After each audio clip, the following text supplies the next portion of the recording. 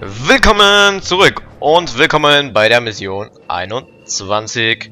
Gut, hier haben wir einen kleinen Pudding und hier ist es relativ einfach, einen Präventivflag zu machen, auch ohne Blender.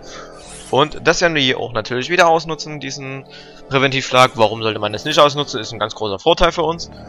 Und ja, ich würde es auch empfehlen, mit, Prä äh, mit Präventivflag hier zu arbeiten, weil es sonst wahrscheinlich nicht ganz so möglich ist, hier 5 Sterne zu erreichen.